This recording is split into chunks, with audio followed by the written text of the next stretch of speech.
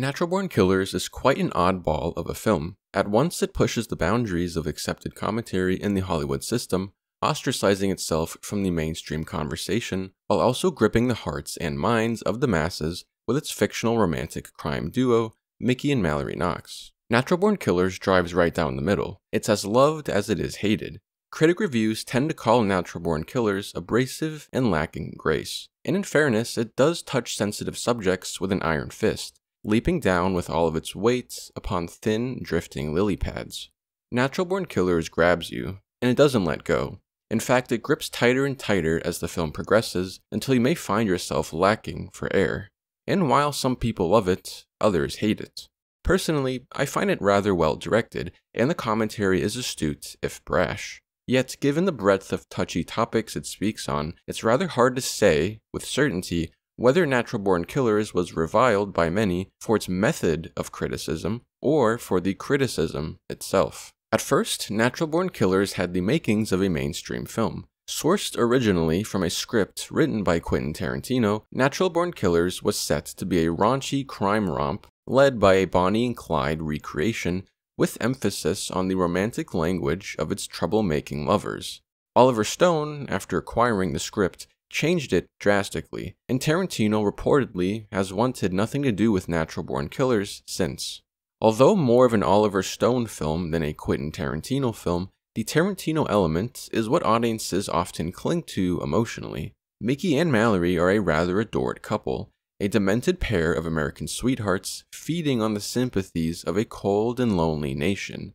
With the incredibly sincere romanticization of Mickey and Mallory, Natural Born Killers feels almost like a bona fide Tarantino movie. But Oliver Stone's contributions to the social commentary lead it astray, or at least Tarantino would view it that way. Had it been helmed by Quentin Tarantino, Natural Born Killers would have turned out an entirely different way the already heavy romanticization of Mickey and Mallory would have been twofold, and the social criticisms would have been largely ejected. Essentially, everything loved about Natural Born Killers would have been fed, and the parts which drove many people off would have been cut. Natural Born Killers, although derived from a Quentin Tarantino script, departs from the Tarantino style in one fundamental way. It gets in the way of its own fun. If incorporative of Tarantino staples, Natural Born Killers is quick to ruin a good time. While its immoral crime couple are painted in romantic strokes, Mickey and Mallory are not lovers an audience can comfortably sympathize with. What you would have unquestionably adored had Tarantino been the sole voice of Natural Born Killers, under Stone's direction, you now questionably adore. And that insecurity thrown into the mix is found in one special sticking point of Oliver Stone's Natural Born Killers where Tarantino would have made the characters out of clay, essentially providing no backstory or root cause for their miscreants, Oliver Stone defines a source for their anger, their rage, and their violence.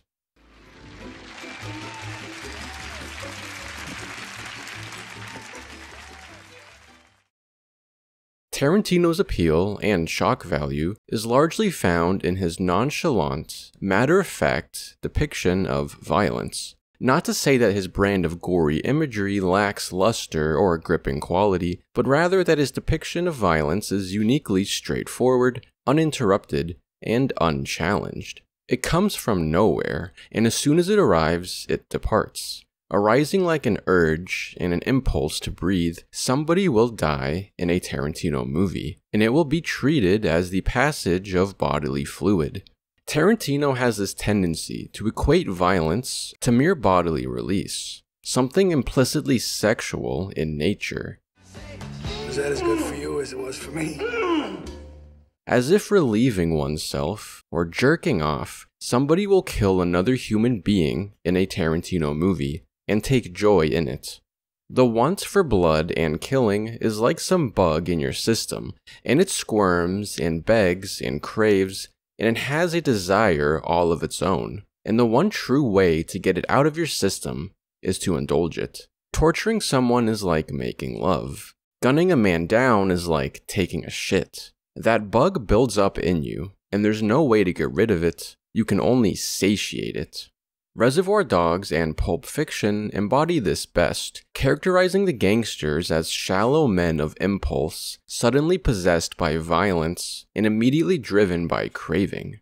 Mr. Blonde and Jules are killers with explicitly noted appetites, eating fast food either before or after doing the deed.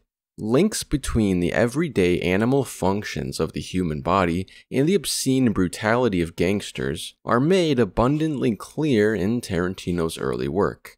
Butch eats a Pop Tart after killing Vincent. If you want to know something he won't tell you, cut off one of his fingers. The little one. Then tell him his thumb's next. After that, I'll tell you if he wears ladies' underwear.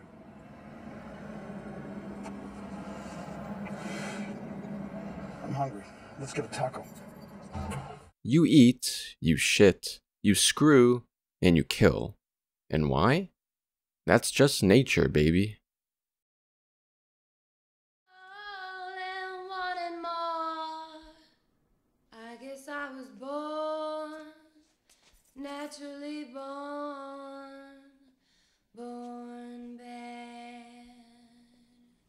Natural Born Killers is very aptly titled. Intentionally ironic, the whole film is an examination of the media and the public at large, and how general conception of serial killers is wholly unfinished. We see the adults and exhibits utterly zero fascination for the kids who they used to be, instead content to judge who they are portrayed as on the television. In Tarantino's style, Mickey and Mallory are made in romantic strokes. By the end of the film, we're cheering for these psychopathic murderers to get away with it, and we almost forget that they are atrocious people. Natural Born Killers is cited as controversial for this very reason. A film quite nearly idolizing a duo of killers was sure to draw negative attention, as it did from a sitting US senator at the time of its release. Like any Tarantino film, Natural Born Killers left a sour taste in the mouths of critics and the media bigwigs for its indecency. Yet, Tarantino directed films which romanticize their immoral casts of characters in a comparable fashion to Natural Born Killers did not garner nearly as much controversy as Natural Born Killers. For as crazy and avant garde as it supposedly was, Pulp Fiction somehow won 1995's Best Screenplay, the same year that Natural Born Killers was entirely snubbed at the Oscars. Quentin Tarantino likes to pretend he's the Hollywood bad boy and throw around his careless abandon for social norms and media decency. And in all fairness, he has generally garnered that reputation. But for as much as Tarantino was supposedly the big bad wolf of Hollywood, pressing back against a system of stiff necked squares, Tarantino has been surprisingly welcomed by that system. Pulp Fiction was funded by big Hollywood titans and was nominated for multiple Oscars, getting outright approval from the Academy via a Best Screenplay win. And Natural Born Killers, which does a very Tarantino style song and dance, was bashed and left on the curb to die by the Academy, receiving not a single nomination. And when Pulp Fiction was so welcomed, it's hard to believe that Natural Born Killers was so scorned for merely sentimentalizing killers. No. Surely another element of the film sparked the defensive nodes of the media industrial complex. More than Mickey's charm, Mallory's vivaciousness, or even their shared happily ever after, what I think Natural Born Killers pushed the boundary on was its examination of childhood, and in doing so, blatantly deconstructing the popular and adored Tarantino narrative. They were just born this way. All right, I, I went to the theaters once to see it, and then the scene that I'm going to say was so bad that I had to leave. Since then, I've like seen little bits of it on cable or something, but it was that horrible sitcom I Love Mallory Oh, with yeah. Rodney Dangerfield. Tarantino's contributions to Natural Born Killers are quite obvious. Natural Born Killers does not deviate from the bodily function equivocation regarding its violence. Mickey and Mallory are as much a sex symbol as they are a violence one. Untethered, anti system, anti society, misanthropic killing is, as Natural Born Killers portrays it, sexy. This was Tarantino's foremost contribution, I have no doubt. As for Stones, I suspect that he had more to do with the I Love Mallory sequence than Tarantino. In contrast to the director who prioritizes ejaculatory killing, murder on a timer, effect without cause action in his psycho gangster affairs, Oliver Stone digs surprisingly deep to the root very early on in Natural Born Killers, and with a brevity so as to direct disdain towards the society which would ignore, or God forbid, laugh any of this abuse off. He approaches the matter of child abuse in the only way anyone can in this society, with a filthy grin about the whole problem. You stupid bitch. You watch your language. Natural Born Killers punctures very deep, very early, and only for what seems like a moment. Yet, the remainder of Natural Born Killers is haunted by the dislodged visions of nightmarish childhoods pushed out of consciousness, but never forgotten. Intentionally, Natural Born Killers erroneously goes on with the expected media slogans, regurgitating the tired lines said of and by the killers, that they're simply born this way. And never is it quite believable. With even just the little that we know, how could it be? Tarantino's trademark approach to evil is retained in Oliver Stone's version of the script, and seemingly mocked up and down. Like Mr. Blonde or Jules, Mickey and Mallory kill as if it's their way of pissing, as if it'll make their next kiss sweeter. But unlike Tarantino, who presents a craving without a source, Oliver Stone makes certain that the source is spotted, ignored, and brushed off as it may be, planting a nagging awareness in the audience for just about the entire runtime of the film. It's quite impossible to enjoy Natural Born Killers in the devilish way you would a Tarantino film when pestered by the undying consideration for the origin of these killers. Natural Born Killers scared the media and political America, more than Pulp Fiction, even. To most audiences and the Academy, Tarantino's characters, whose evil is unexplained yet redeemed, are far less threatening than Stone's, whose evil is explained if unredeemed. Natural Born Killers refuses its audience an irresponsibly good time.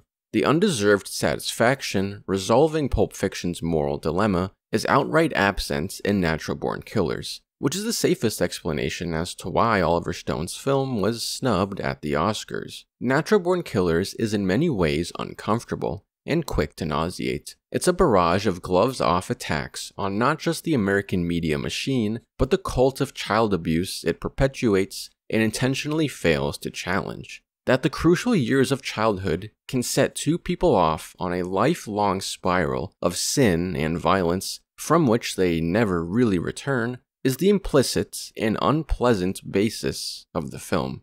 All in all, not quite wrapping itself up in a reassuring manner, Natural Born Killers is rightfully off putting and uneasy. The concerns it raises are never quite assuaged. However, if Tarantino's reaction is any indication, it was not the lack of pleasant resolution which wrecked Natural Born Killer's chances so much as the film's central criticisms did.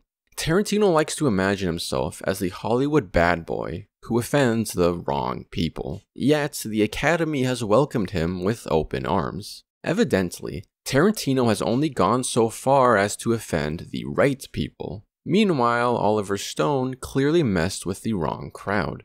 And I can only really see one rogue variable explaining how. What Oliver Stone brought to Natural Born Killers is what assured it its death a blatant mockery of America's attitude towards child abuse, the one truest source of all serial killers in media history. Were it his creation and his creation alone, I'm not sure Natural Born Killers would have had any time in the sun at all. Surely, the greatest drawing appeal of the film often seems to be what Tarantino brought to the table the adored Mickey and Mallory romance, perhaps the one thing keeping it afloat. Where critics were scandalized at Natural Born Killer's critical acuity, audiences were enamored with the beacons of love which Mickey and Mallory were. Yet, as critics, and even Tarantino himself, were horribly off base snubbing Natural Born Killers on the basis of its heavy handed social criticisms, audiences were equally misled in their instant attachment to and idolization of Mickey and Mallory. It's deceptively easy and not truly happy. A union formed from trauma between two broken people cannot be. Neither lover is present enough to check the other. There's no system of virtue or compassion. Explicitly, this marriage built on unconditional love has one condition no virtue.